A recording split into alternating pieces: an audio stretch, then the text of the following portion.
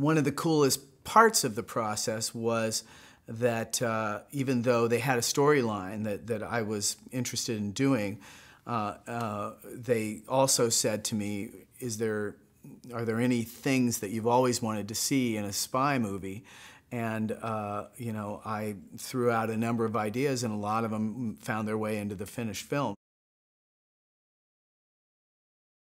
One of the signature things in the movie was a, um, a sequence on the Burj Khalifa, which is in the center of the movie, and it's the tallest building in the world. And uh, when Bryan uh, Burk, one of our producers, and JJ, uh, his partner and also uh, a producer on the film, went to Dubai uh, for another project, they looked around and said, "We got to make a movie here because this city is new, but it's also incredibly cinematic. It's plunked down in the middle of the desert, and but has a very um, futuristic uh, skyline."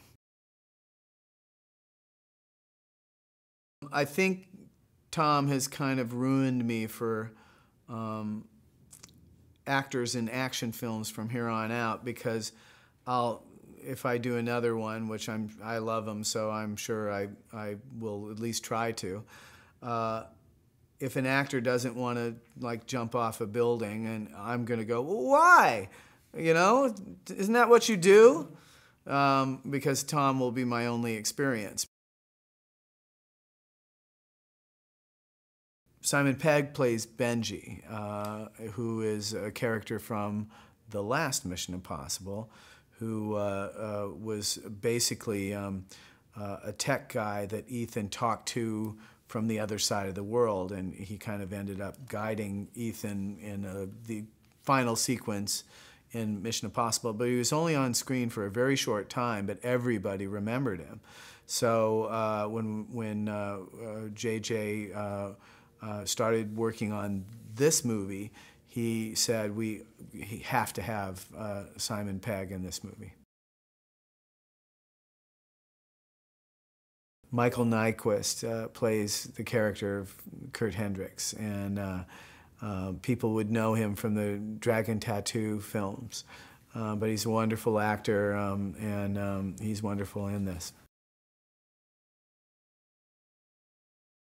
Paula had all the training, but we uh, originally thought that Léa Seydoux, who plays uh, Moreau, would largely just do a few close-ups and then allow a stunt woman to do the rest. But Léa got the spirit of everyone else, you know, uh, being on screen, and so she said, "I want to do this stuff," and and so she's in there uh, uh, fighting away, and and I think they did an amazing job on it. We've got explosions, we've got uh, car chases, we've got hand-to-hand combat uh, between two female uh, uh, badasses. We've got villains, heroes. We got Tom climbing the tallest building in the world.